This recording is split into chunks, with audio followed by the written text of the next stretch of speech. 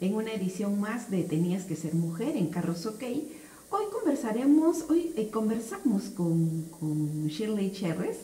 Eh, la verdad solamente van a salir las declaraciones de ella, quien eh, nos muestra una opción de por qué ella no quiere sacar un brevete. Así como quise empezar por una persona que no quiere sacar un brevete, porque ella lo considera no necesario para las actividades que realiza, y porque eh, principalmente sus actividades se centran en la difusión de videos, de fotografías, porque es la imagen de varias empresas. Entonces ella eh, ha decidido no tener un brevete y eh, prefiere contratar un chofer. Escuchemos lo que nos dice Shirley. Hola, ¿qué tal? ¿Cómo están? Soy Shirley Cherres y me preguntaron por qué no tenía brevete.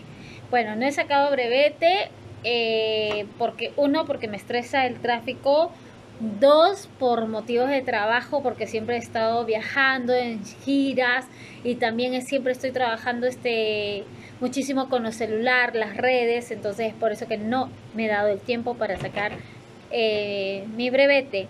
Y además, eh, ¿por qué tengo chofer? Evidentemente por lo mismo, ¿no? Que siempre paro con las redes, paro con el celular, paro con el laptop. Entonces, eh, sería muy irresponsable si manejo sabiendo de que tengo que estar grabando, tengo que estar tomando fotos, videos y mandarlos eso en cualquier momento porque yo no tengo un horario de oficina.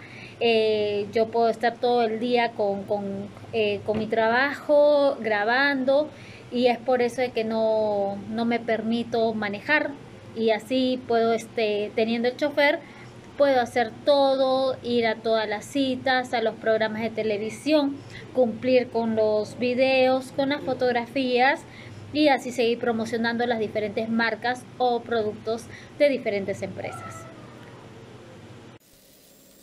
Bueno, luego de escucharla, eh, llegamos a la, a la conclusión de las opciones que tenemos, el por qué no sacar. Bueno, Shirley tiene la oportunidad de contratar un, un chofer para que la pueda movilizar y no, le, no, no siente la importancia de, de obtener un brevete.